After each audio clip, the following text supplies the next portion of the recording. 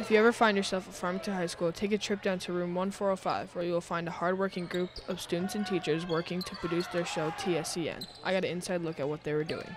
I'm Ben Carvel, I'm in the 11th grade and I go to Farmington High School. This would be my third class with Mr. Tauchi. Other than this class, I've done video production 1 and video production 2. Ben explains to me what job he does and what it's like during a regular show day. I primarily run camera. I've done both handheld and I've done it on a tripod. Handheld can get a lot better angles on shots.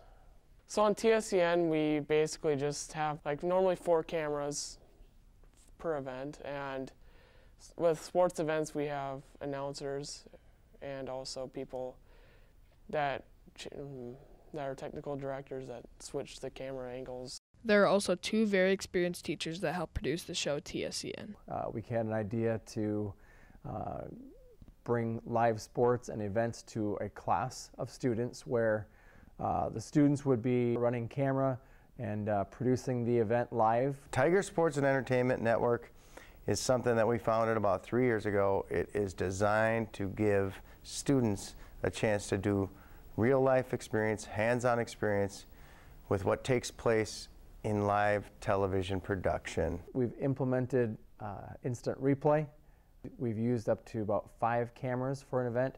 We're the team that's not touching the ball or we're not running, but we are running before the game or running during the game. To produce a great show, you need great equipment. Mr. Tauchi explains to me what kind of equipment they use.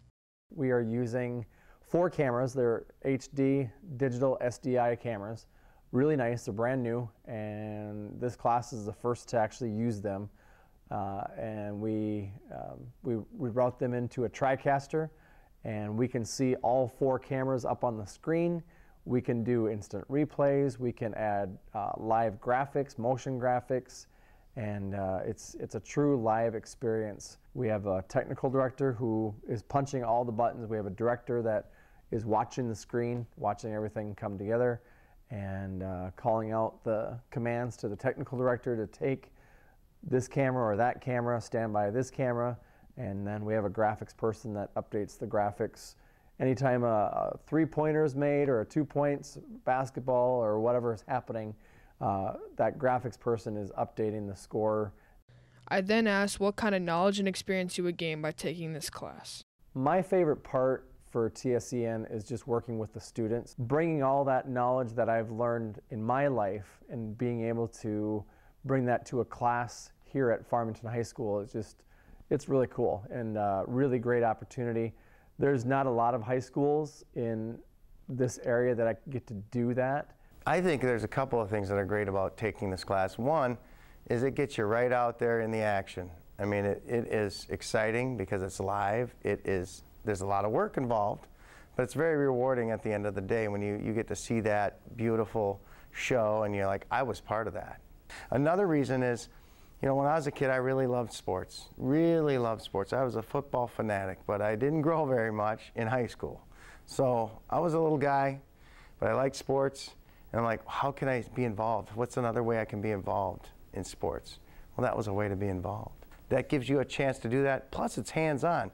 A lot of uh, stuff that you take, it's, you're sitting in a classroom, you're listening to a lecture, you're writing notes. This is you actually get to touch the gear, feel the gear. You get to switch a show, you get to direct a show. I mean, it, and and it's real, it's live, it's tangible. You can see it. So that's that's why I really think a, a student would say, "Hey, this would be pretty fun." Mr. Mathis brings a wealth of technical knowledge to his job here at TSCN. I've been doing some sort of live sports and event broadcasting since 1990. That's on the television end.